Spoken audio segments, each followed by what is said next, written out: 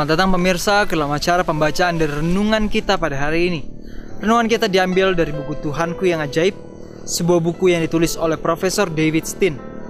Nah, melalui buku ini kita akan melihat dan membaca bagaimana setiap peristiwa di alam dapat menunjukkan kepada kita tentang betapa luar biasanya Tuhan yang telah menciptakannya. Kita telah masuk di halaman yang ke-275 dalam judul Mengambil Gambar. Apakah Anda pernah menggunakan kamera untuk mengambil gambar? Hari ini kita akan melihat prinsip-prinsipnya dan bagaimana bisa sih kamera mengambil gambar. Kita akan mempelajarinya. Tapi sebelum kita mulai untuk membaca, kembali saya undang pemirsa untuk mengajak seluruh keluarga berkumpul bersama-sama. Ambil juga Alkitab serta buku catatan Anda. Biarlah pelajaran yang kita pelajari dapat kita ulangi kembali dapat kita bagikan kepada sahabat-sahabat kita, dan yang paling penting, dapat kita hidupkan di dalam kehidupan kita masing-masing. Ayat ini kita terdapat di dalam buku 1 Yohanes 3 ayat 2. Ambil Alkitab Anda, mari kita baca bersama-sama. Dikatakan apabila Kristus menyatakan dirinya, kita akan menjadi sama seperti dia, sebab kita akan melihat dia dalam keadaannya yang sebenarnya. Sahabatku, dikatakan apabila Kristus menyatakan dirinya, maka kita akan menjadi sama seperti Dia. Tujuan kita untuk hidup adalah untuk memiliki karakter Kristus. Sesuatu yang telah hilang di saat manusia jatuh ke dalam dosa. Kita telah kehilangan karakternya. Ini bukan hanya tentang surga. Ini tentang kehilangan karakter tersebut. Seseorang yang tadinya hanya tahu yang baik dan benar menjadi tahu yang benar dan yang jahat melalui buah yang dimakan oleh Adam dan Hawa. Sahabatku, yang membuat mengapa manusia harus dikeluarkan dari surga adalah karena surga tidak boleh tercemar dengan sesuatu yang jahat. Dan di saat manusia telah makan buah pengetahuan baik dan jahat, dia tahu untuk melakukan yang jahat, dia melakukan yang tidak baik, dia tidak bisa lagi berada di surga. Karena surga bukanlah menjadi tempat yang menyenangkan untuk dia. Jadi sahabatku, dalam perjalanan kehidupan kita sesungguhnya inilah yang menjadi tujuan dan cita-cita kita. Sebuah perjalanan untuk memperbaiki karakter kita yang buruk. Sebuah perjalanan untuk mencapai kemuliaan Tuhan. Mari kita baca renungan kita. Mereka ada di mana-mana dan begitu kecil. Kesempatan Anda di dalam pixel beberapa kali setiap hari. Kalau kita berjalan ke toko, berjalan melalui persimpangan, atau ke tempat parkir, atau pergi menghadiri suatu acara, maka kita akan menemukan diri kita terekam dalam pixel, sebuah kamera digital yang berada di mana-mana. Sebagian besar ponsel memiliki kamera ganda. Semuanya menciptakan pixel dengan satu sentuhan tombol. Renungan kita menceritakan tentang apa yang terjadi di Amerika sana, di luar negeri. Dikatakan semuanya terekam karena di luar sana di setiap pojok kota itu ada kamera yang merekam. Di setiap tempat kita mau pergi uh, ke tempat parkir, kita melewati sebuah gang, ada kamera. Jadi dalam satu hari, kita mungkin akan menemukan diri kita di kamera. Itu kalau di luar sana. Di Indonesia belum ada teknologi seperti itu.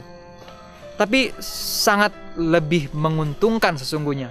Saya tidak bisa sebutkan ini menguntungkan atau merugikan.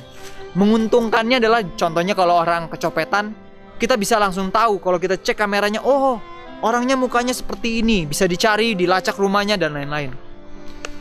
Tapi yang buruknya adalah setiap kehidupan kita, setiap pergerakan kita dikontrol oleh orang-orang yang tidak kita ketahui yang mungkin duduk di belakang meja.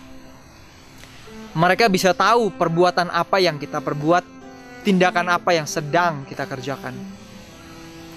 Sahabatku, kita bukan membicarakan mengenai bagaimana kondisi di luar, tapi kita sedang membicarakan tentang kamera tersebut.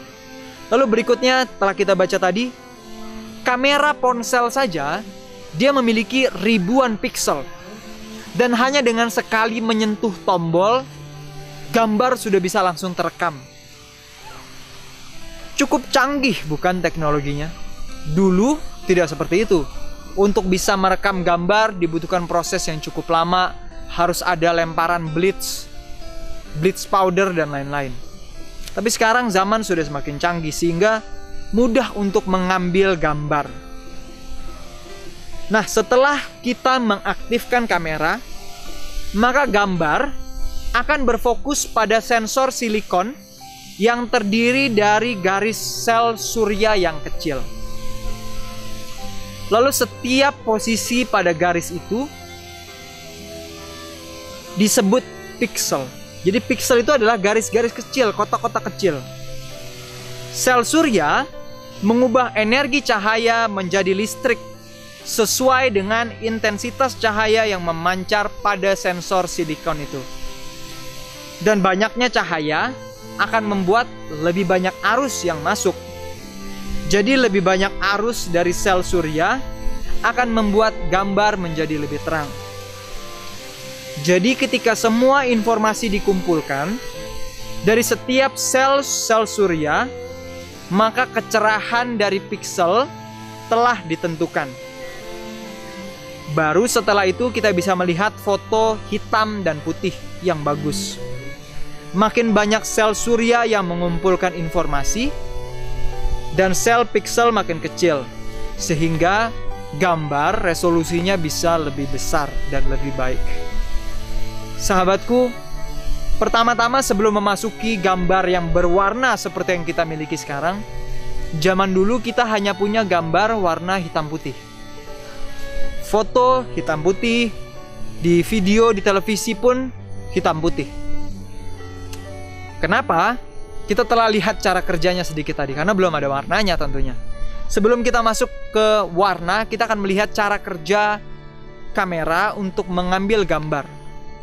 Pertama-tama kita lihat tadi dibutuhkan ada yang namanya sel surya. Cahaya. Sangat masuk akal kalau contohnya kita berdiri di sebuah tempat yang cahayanya agak redup. Kamera lebih sulit untuk mendapatkan cahaya sehingga hasilnya pun tidak terlalu bagus. Hasilnya akan lebih gelap. Sementara kalau banyak sel cahaya yang masuk, pixelnya dapat lebih kecil. Jadi dia kameranya tidak perlu memaksakan dirinya untuk mengambil cahaya yang masuk karena sudah banyak cahaya di sana. Resolusinya bisa lebih bagus, bisa lebih besar gambarnya. Tiga hal tersebut. Kita melihat betapa pentingnya cahaya dalam pengambilan gambar. Kita juga melihat betapa pentingnya pixel untuk bekerja. Sebelum kita lanjut untuk membaca Mari kita lihat kalau begitu. Kira-kira apa aplikasinya yang bisa kita ambil dalam kehidupan kita? Untuk mengambil satu gambar yang bagus, diperlukan cahaya yang banyak. Sehingga pixel atau diafragma dia tidak perlu membuka terlalu besar sehingga bisa mendapatkan gambar yang lebih jelas. Pernahkah Anda pergi belajar mungkin di sekolah? Kalau mungkin kita pergi belajar, lalu konsentrasi kita tidak berada pada pelajaran. Kita tidak akan mengerti pelajarannya. Atau mungkin jika kita pergi belajar, tapi semalaman kita begadang, kita pasti tidak akan mendapatkan pelajaran yang kita pelajari atau mungkin kita membaca firman Tuhan. Banyak orang yang berkali-kali telah mengulang-ulang firman Tuhan dari kejadian sampai wahyu baca ulang lagi berkali-kali. Tapi banyak yang tidak mengerti. Banyak yang seperti menggambil gambar, tidak mendapatkan gambar yang pas seperti yang Tuhan inginkan. Bayangkan, kita mungkin membaca satu kalimat tertentu, tapi tanpa cahaya yang tepat, Tanpa pixel yang terbuka, kita tidak akan dapatkan gambar yang terbaik. Jika kita mempelajari firman Tuhan, yang adalah satu hal yang sangat penting untuk kita lakukan. Seorang juru mudi, seorang supir, seorang masinis, seorang pilot yang mengendarai pesawat terbang mereka tidak akan bisa membawa penumpangnya atau diri mereka sendiri ke tempat tujuan jika mereka sebelumnya tidak mempelajari buku petunjuknya. Bisa saja tabrakan nanti, atau bahkan bisa kehilangan arah jika mereka tidak mempelajari dengan baik petunjuknya. Bayangkan, kita bukan hanya sekedar seorang pengemudi, bukan hanya sekedar seorang masinis. Kita bukan sekedar seorang pilot yang membawa kendaraan. Kita sedang dalam perjalanan menuju tanah perjanjian di surga. Dan kalau kita tidak membekali diri kita dengan membaca petunjuk yang benar, kita pasti akan salah arah. Mungkin kita akan tertabrak dan mati. Sahabatku, kita melihat hari ini betapa pentingnya untuk membaca buku manualnya. Dan seperti yang saya ceritakan tadi, mungkin kita membaca buku petunjuknya, tapi tanpa kita mendapatkan cahaya yang benar, seperti mengambil gambar dalam kamera, tanpa kita membuka hati kita untuk diajar oleh Tuhan kita pasti akan jatuh juga. Kita tidak akan mendapatkan esensi yang Tuhan ingin katakan. Mungkin kita sudah membaca Alkitab berulang-ulang tanpa terang yang benar dari Roh Kudus, tanpa kita membuka hati kita untuk mau mengerti, untuk mau belajar dan tidak mengeraskan hati. Kita tidak akan mengerti. Contohnya seperti apa? Contohnya seperti ini ada orang-orang yang membaca firman Tuhan hanya untuk mencari kesalahan, untuk membenarkan diri. Ada orang-orang yang membaca firman Tuhan hanya ingin menunjukkan bahwa kamu salah, saya benar. Dia tidak akan menemukan apa yang Tuhan inginkan agar dia lakukan. Mungkin dia temukan apa yang dia cari, tapi bukan yang Tuhan ingin agar dia kerjakan. Sahabatku, marilah kita ingat akan hal ini tentang betapa pentingnya kita untuk berserah kepada Tuhan, meminta roh yang benar mengisi hati kita, dan membuka diri kita untuk diajar oleh Tuhan. Tadi kita telah melihat sebuah pelajaran dari kamera hitam putih. Sekarang kita lihat bagaimana kamera bisa memberikan warna. Produsen dari kamera mencapai hal ini dengan menempatkan garis filter yang lebih kecil jadi sel surya itu filter yang cukup kecil, ini lebih kecil lagi. Dan filternya berwarna hijau, biru, dan merah di depan setiap sel surya. Jadi ada sel surya dan di depannya ditaruh sel warna. Warna hijau, biru, dan merah. Melalui itu barulah kamera yang di belakang lensanya dapat merekam gambar dengan warna mengukur seberapa banyak cahaya berwarna dari masing-masing tiga warna yang melalui filter tersebut. Akan dapat menentukan warna apa yang seharusnya di setiap pixel. Sebuah kamera 4 megapiksel akan melacak data 4 juta pixel dan menggabungkannya menjadi satu gambar. Bayangkan, ini mengenai kamera. Dulu kamera hitam putih. Dan di saat produsen kamera mengembangkan kamera, ditaruh warna, barulah bisa di saat kita memencet tombol akan terekam gambar seperti yang kita lihat. Bayangkan betapa rumitnya proses tersebut untuk merekam gambar yang ada warnanya saja harus ditaruh potongan yang lebih kecil partikel warna. Merah, biru, dan hijau. Apakah Anda pernah melihat warna? Hanya dengan memandang saja kita tahu ini warna hijau. Ini warna biru, ini warna merah. Sahabatku, mata kita jauh lebih canggih dari kamera mana pun. Dalam kondisi tergelap, terkadang kamera tidak bisa menangkap apa yang ada di sekitarnya. Karena gelap, kadang harus dibutuhkan cahaya tambahan.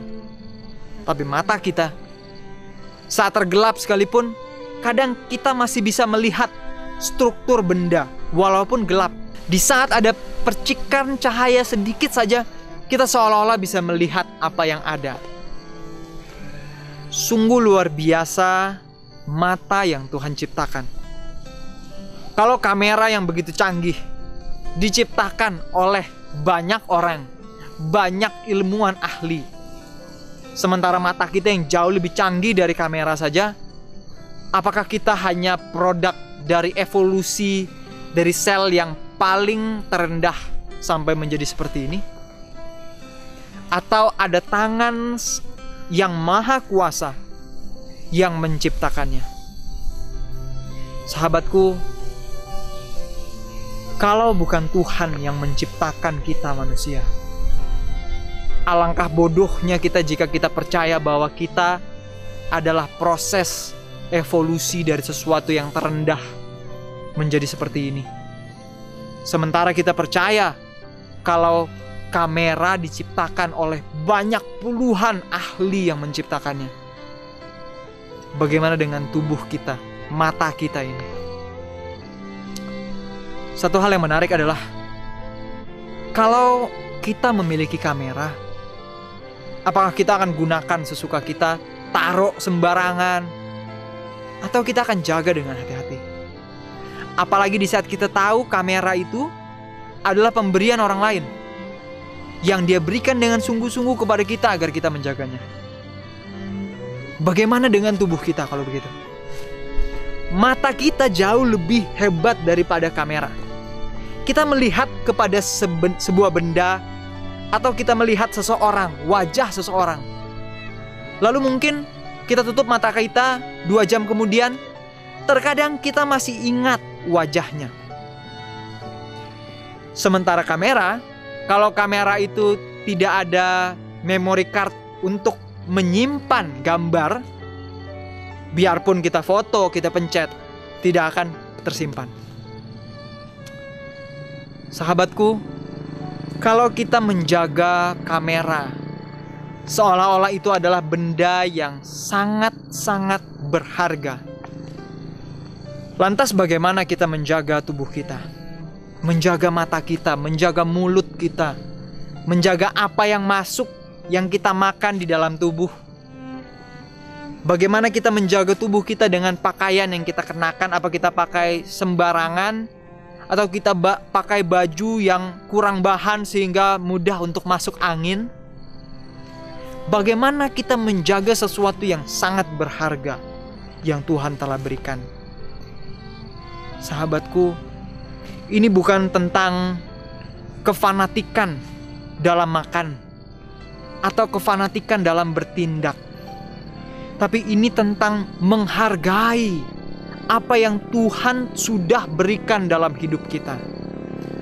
Kalau kita bertindak sesuai keinginan kita, artinya kita sedang menginjak-injak hadiah yang Tuhan telah berikan melalui tubuh kita. Bayangkan, seperti kamera digital, mata kita juga memiliki kolektor surya yang disebut batang dan kerucut yang mengkonversi cahaya menjadi elektrokimia. Setiap mata memiliki sekitar 1 125 juta batang yang begitu sensitif terhadap cahaya yang rendah yang bisa melaporkan sekecil sebuah foton yang tunggal. Setiap mata memiliki 6 atau 7 juta kerucut untuk mendeteksi warna. Bayangkan sementara kamera saja hanya punya tiga red green blue di setiap titik cahaya. Mata kita punya 7 juta kerucut yang berasal dari tiga model yang berbeda. Salah satu jenis sangat baik untuk mendeteksi cahaya merah, yang lain mendeteksi yang terbaik cahaya hijau, yang lain biru. Tetapi karena bidang deteksi yang tumpang tindih, maka kita dapat membedakan jutaan warna yang berbeda-beda. Kita bisa melihat mendeteksi, oh ini bukan sekedar merah nih, ini merah yang sudah bercampur dengan biru atau yang lainnya. Mata kita begitu luar biasa. Sahabatku, hari ini kita telah melihat tentang cara kerja dari kamera. Bahkan di saat kalau kita menggunakan kamera, kalau ada orang yang berdiri sangat jauh, terkadang kita tidak bisa lihat dengan begitu jelas. Tapi mata kita berbeda. Dengan kita mengerucutkan mata kita, kita seolah-olah bisa melihat tulisan yang jauh dengan lebih jelas. Sahabatku, kita melihat pada hari ini mengenai Tuhan yang menciptakannya. Kalau Tuhan menciptakan alat yang begitu berharga, Tuhan juga rindu agar kita menjaganya dengan baik. Tuhan yang telah menunjukkan dirinya, sama seperti di ayat inti kita, di saat Tuhan menunjukkan dirinya, kita akan dapat menjadi serupa dengan Tuhan. Tapi sahabatku sering kali Tuhan mencoba, selalu mencoba untuk menunjukkan dirinya kepada kita. Tapi sering kali kita tidak bisa lihat. Kenapa? Mungkin seperti kamera. Ada lensanya yang rusak. Atau ada penghalang yang menghalangi lensa untuk bisa melihat atau mungkin kurangnya cahaya, cahayanya redup sehingga gambarnya menjadi lebih gelap. Dalam perjalanan kerohanian kita pun sama. Tuhan selalu berusaha untuk menunjukkan dirinya kepada kita, menunjukkan kuasanya. Di tengah masalah problem kita, Tuhan ingin tunjukkan kuasanya agar kita bergantung kepadanya. Tapi sering kali problemnya, Bukan karena Tuhan tidak menunjukkan, bukan karena Tuhan tidak datang, tapi sering kali cahaya terlalu redup. Kita memiliki penghalang di hadapan kita yang menghalangi kita untuk melihat Tuhan. Sahabatku, biarlah satu kalimat ini menjadi doa kita pada hari ini. Tuhan, berapa lama lagi sampai kami bisa melihat gambar wajahmu yang terang dan penuh warna. Saya rindu untuk mempelajari setiap detail kebaikan dan kasihmu. Apakah Anda juga rindu untuk melihat Tuhan dengan karakternya yang sesungguhnya, untuk belajar lebih dalam lagi tentang kasihnya? Jika Anda rindu, hari ini marilah kita meminta Tuhan untuk menolong kita melihat penghalang-penghalang apa yang ada di hadapan kita, sehingga kita dapat bertindak sesuai dengan kuasa Tuhan untuk menghilangkan penghalang tersebut, menyingkirkan penghalang itu, agar kita dapat melihat kuasa Tuhan dalam kehidupan kita. Tuhan rindu untuk mengubahkan kehidupan kita sesuai dengan karakternya. Sahabatku, Bagikan pelajaran yang kita pelajari pada hari ini tentang cara kerja kamera. Dari cara kerja kamera hitam putih, cara kerja kamera yang berwarna, dan bagaimana mata kita pun jauh lebih luar biasa daripada kamera yang ada sekarang. Marilah kita jaga tubuh kita, jaga seluruh kuasa waktu yang Tuhan berikan, agar semuanya bisa kita pergunakan untuk memuliakan nama Tuhan. Sampai bertemu lagi. Tuhan memberkati dan Maranatha.